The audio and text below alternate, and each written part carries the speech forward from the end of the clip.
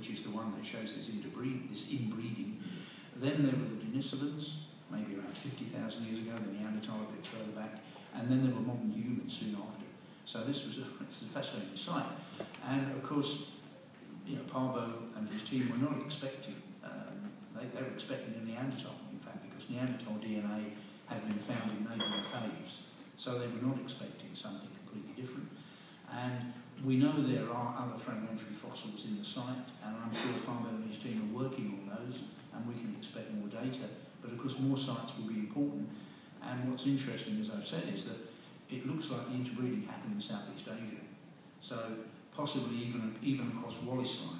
I wrote a paper with Alan Cooper last year in Science where we argued, given where the interbreeding shows up today, that the Denisovans, like the Hobbit on Flores, might have actually been, some of them were across the Wallace Line, and it was there that the interbreeding happened uh, and was then taken further onto Australia and New Guinea.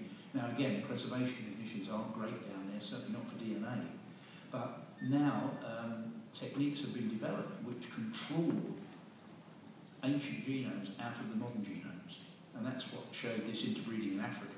So the interbreeding in Africa, so we haven't got a Heidelbergensis genome from Africa, but using sub-Saharan African DNA today showed that there was archaic DNA there now, and people using these techniques are going to recover at least probably part of that archaic genome from sub-Saharan Africans. So by doing the same thing in New Guinea and Australia, you should be able to recover some of the DNA from the Denisovans and partially reconstruct their genome. And Pääbo's already on record, his team have said that the Denisovan that put the DNA into Australian and New, and New Guineans of today was genetically different to the Denisovan in Denisova Cave.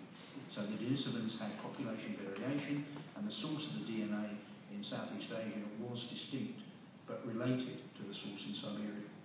Do you think there's a fossil in a drawer somewhere in Asia that um, could rewrite them? Yeah, I mean, Pääbo and his team are looking at Chinese fossils, for example. So we've got Chinese fossils from 100,000, 200,000, 300, 400,000 years old. And he's already started to look. I think so far the results have not shown up anything, but it's my guess that some of those will turn out to be Denisovans, more complete individuals. But until we actually get the DNA combined with good morphology, we don't